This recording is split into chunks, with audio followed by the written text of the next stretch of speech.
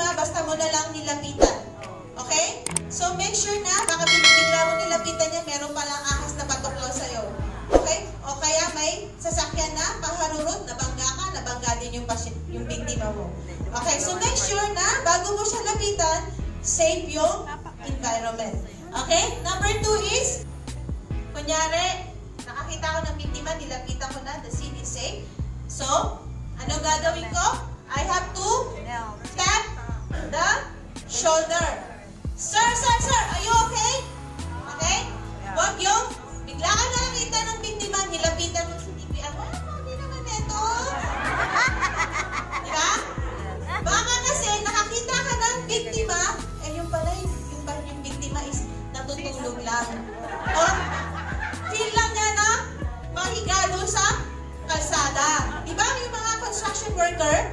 di ba mahilig sila basta nalang hihiga kung saan-saan?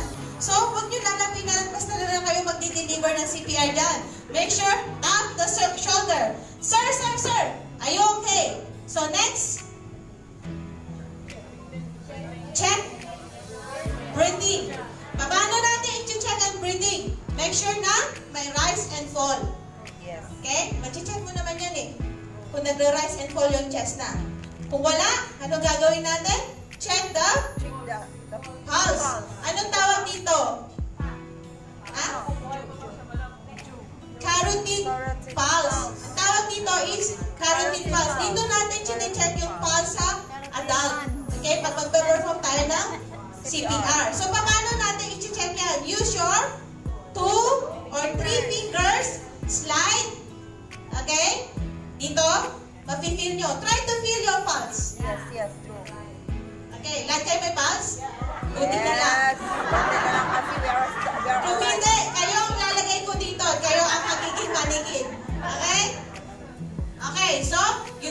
your two or three fingers, slide, and feel the pulse within at least 5 to 10 seconds. Huwag naman yung 30 minutes na, more than 30 minutes na wala ka pang na-feel na pulse kasi hindi mo alam hanapin yung pulse. Okay? Patay na yung biktima niyan. Kailangan mabilis ang rescue mo sa biktima. Within at least 5 to 10 seconds lang. Magbilang ka ng 1 to 10. 1, 2, 3, 4, 5, 6, 7, 8, 9, 10. If you don't feel the pulse, start CPR. Tandaan. Okay? So, paano natin isi-CPR yan? Okay. Okay. So, ito ang biktima.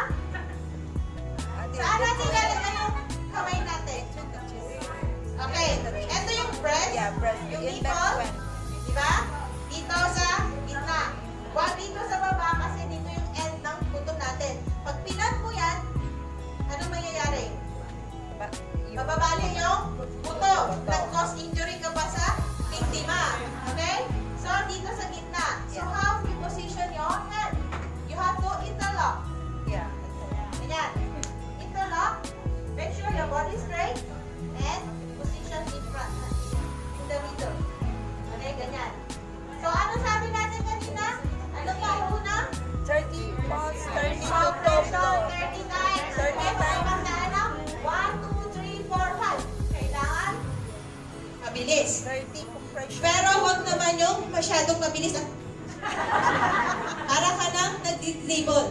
Kailangan natin na i-allow yung chest na tinatawag na chest recoil. Ano ba yon? Chest recoil is ina-allow natin yung dugo na dumaloy sa sa blood katawan, sa mga ugat. sa lungs papunta sa heart. Okay? Chest recoil ang tawag doon. So, kailangan fast pero not too fast na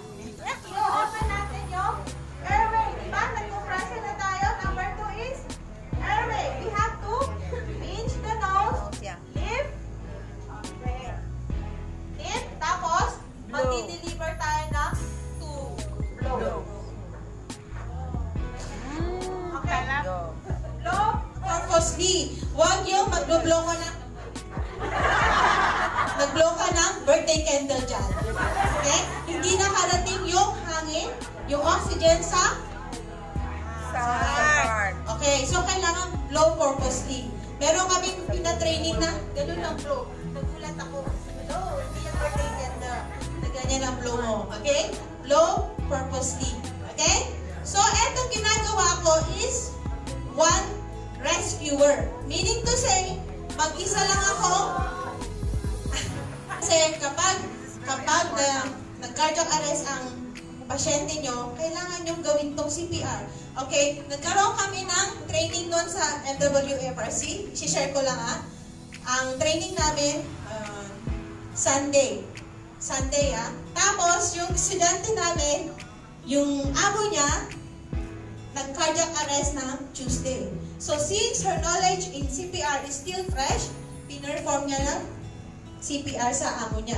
Okay? Nung na-revive yung amo niya, yung amo niya is uh, Norwegian, ha? Okay? Nung na-revive yung amo niya, nagpasalamat siya sa Facebook. Pinasalamatan niya yung mga nagpa-training, nag, nagbigay ng training, tapos binigyan niya ng rewards yung employee niya. Okay, binigyan niya ng trip to Australia and also a pocket money.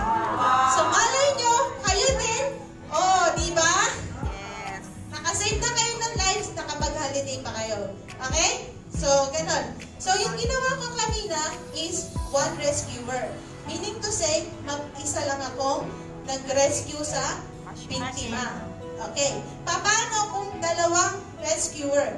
Meaning to say, dalawa kaming magre-rescue sa biktima. Kunyari, dalawa kaming nakakita sa biktima. Okay? So, lalapitan namin, before nalapitan namin, make sure na the place is safe, clear. Lalapitan namin. So, ako, ako yung, ako na yung magtatap. Ako yung gagalaw na sa biktima. Anong gagawin ko sa kasama ko?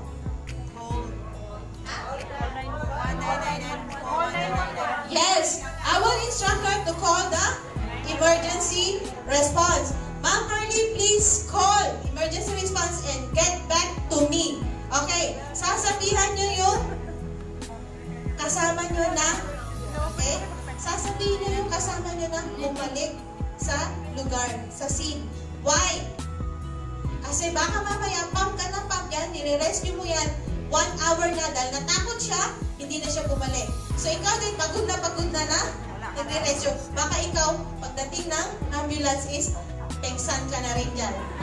Okay? So make sure na instruct your partner to come back. Okay? So kunyari, bumalik na siya. Ako, nagpapump. Siya, saan siya po position? Okay? Kunyari, nagpapump ako. Na nakatalikod siya sa inyo, gusto ko dito siya. Okay, so kung nalaman niya na, Mama Eileen, nandito na ako. Ang gagawin ko, pupunta ako dito, dito siya po position. So, saan ang position niya? Dito sa, actually dito dapat. So, since na mabroblok yun, dito siya. Okay. So, ang position ko is nasa head. Ang trabaho ko ngayon is, ako yung taga blow, siya yung taga pump. O, sige, Ma'am Pearly.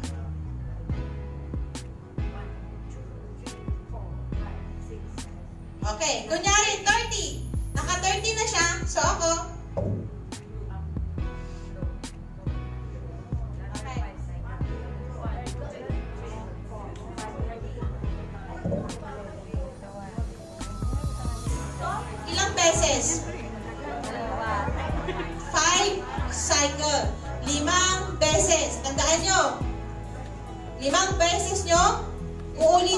Compression, blow, compression, blow.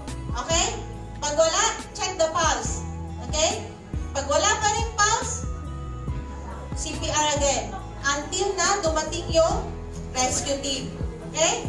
Tandaan nyo, huwag kayong, huwag nyo hihinto yung CPR hanggat wala pa yung emergency response. Okay? Okay, any question?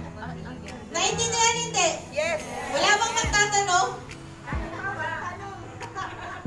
Okay, kunyari, na-revive yung pasyente, chinek mo may pulse, pero hindi humihinga. Just Saan pa rin? Oo nga.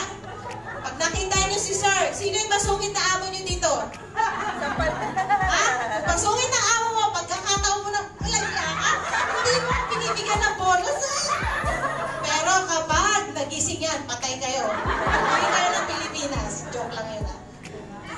Okay, so kunyari, nung chinek nyo, may pulse na pero walang breathing.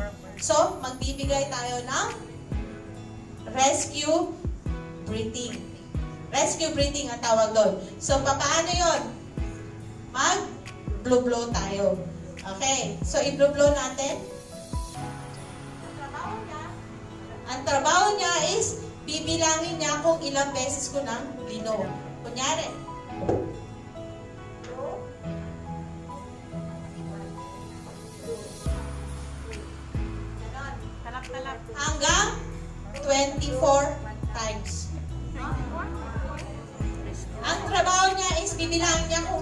yung breathings na ginagawa ko sa biktima.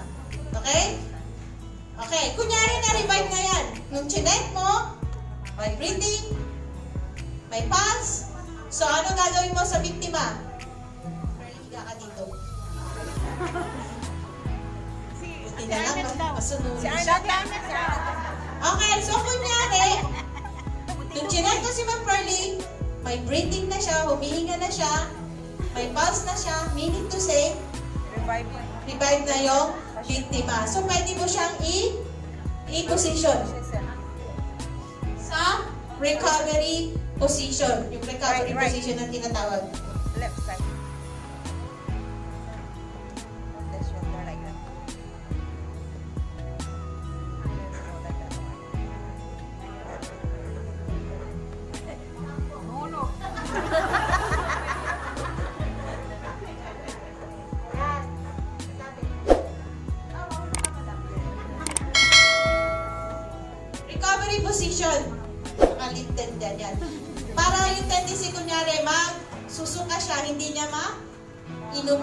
niya. Okay? Yun recovery position na tinatawag. So, yan yung sa CPR sa adult. So, iniwanan yung biktima, papatay na ko dito mamaya. Nahiya ka, sabi niya siguro. Okay, yan yung CPR sa adult. E, paano